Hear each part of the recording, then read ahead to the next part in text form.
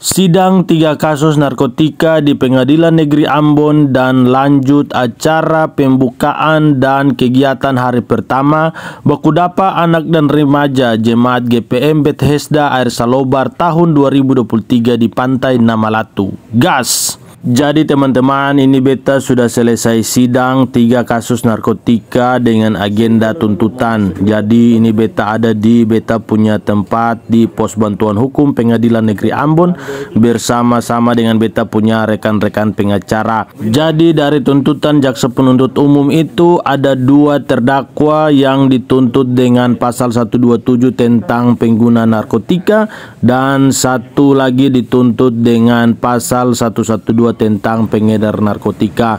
Setelah selesai sidang beta lanjut isi bensin di pompa bensin atau SPBU yang ada di belakang kota dan beta lanjut lagi isi di pompa bensin yang ada di Soa Bali.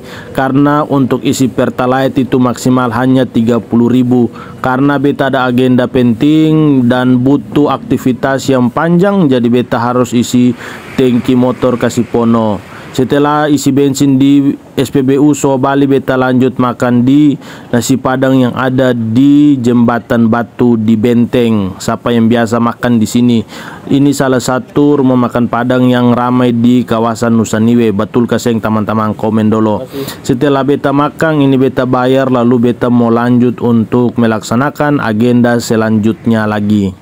Setelah itu teman-teman beta datang kumpul di gereja Bethesda Air Salobar bersama dengan teman-teman panitia Bakudapa Anak dan Remaja. Kemudian ada peserta dari sembilan sektor yang ada di Jemaat GPM Bethesda bersama kakak-kakak pendamping. Datang persiapan bakumpul di gereja lalu melanjut ke tempat perkemahan Bakudapa Anak dan Remaja yang dilaksanakan di Pantai Namalatu Desa Latuhalat.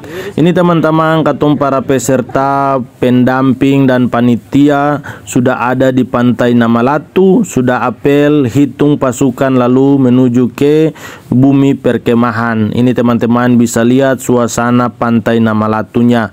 Ini setelah masuk peserta kemudian melakukan registrasi ulang peserta dan katung ada dalam ibadah pembukaan ini teman-teman bisa lihat suasana di bumi perkemahan. Dan ini adalah dapur umum.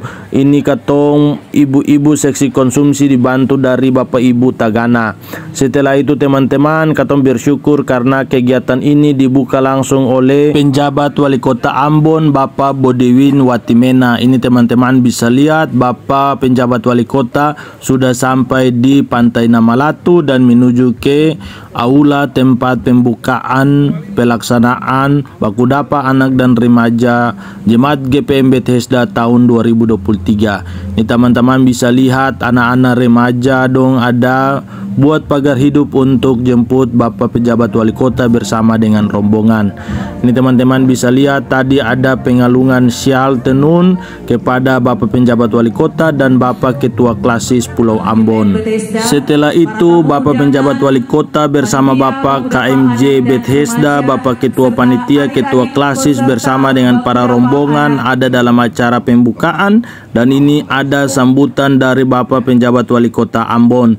Teman-teman, katong bersyukur karena acara pembukaan berjalan dengan lancar. Setelah itu, ada dalam acara foto bersama para tamu undangan, kemudian lanjut peserta perempuan dan peserta laki-laki dan terakhir itu ada panitia bersama dengan pendamping Bapak Ibu majelis yang hadir foto bersama Bapak penjabat wali kota bersama rombongan. Jadi teman-teman sesuai dengan pembagian tugas panitia beta dan kakak Ian dari seksi acara Katong ada dalam pencabutan undian bagi para peserta. Jadi ini yang maju adalah ketua-ketua kelompok yang dipercayakan dari sektor masing-masing untuk memilih nomor undian.